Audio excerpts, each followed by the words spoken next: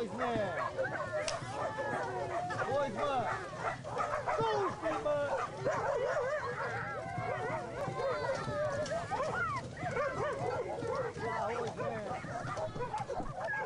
The arrival of the Roma in 14th century feudal Europe, with their dark skin and long skirts, their wagons and pagan customs, must have shocked local villagers. In their migration across Europe, they eventually split into three large groups the Roma, the Sinti, and the Kale. Romania has more Roma than any other country in the world, some 2 million. For four centuries, the Roma were slaves in this country. Today, Romania has passed laws benefiting the Roma, but the Roma say there are still many cases of abuse against them. Hundreds of cases are bogged down in the courts, among them the case of the Lustig family. Acolo m-au bătut, în prezența soția stătea și se uita pe un scaun și pe noi ne bătea în continuu până n-am mai putut, ne-am pierdut conștiința. Voi sunteți hoți, voi sunteți criminali, voi sunteți țigani, n-aveți drepturi în țara asta, vă omorâm.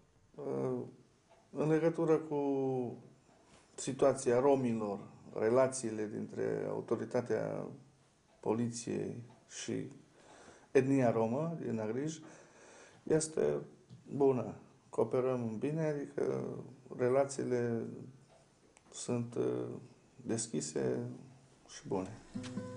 În uh, strada acolo era domnul Țap Nicolae. M-a venit la mine atunci și doi, unul de aici, unul de aici și unul din spate și m-au prins și m-au bătut.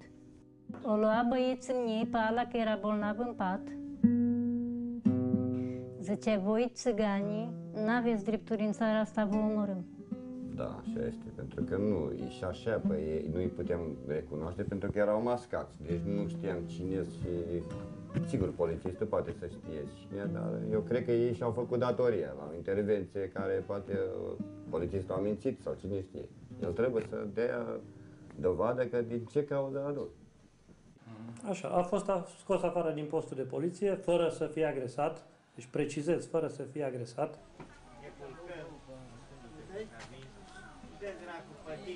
Suntem o comunitate care n-am avut niciodată probleme așa mai... Deci cazul meu e ceva, nu știu, ieșit din comun. Se miră și lumea, majoritatea, populația majoritară.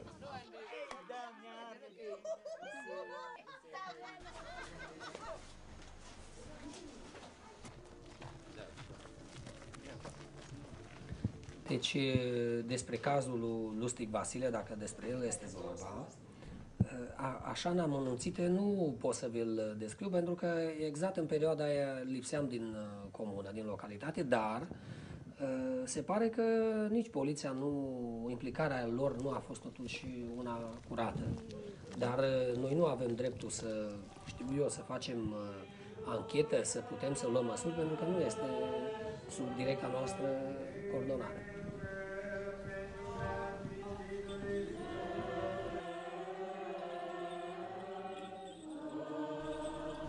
Aici este unde lucrez locul de muncă al meu ca consiliar local în primărie și vis-a-vis este secția de poliție unde a fost bătut și agresat de poliția din comună.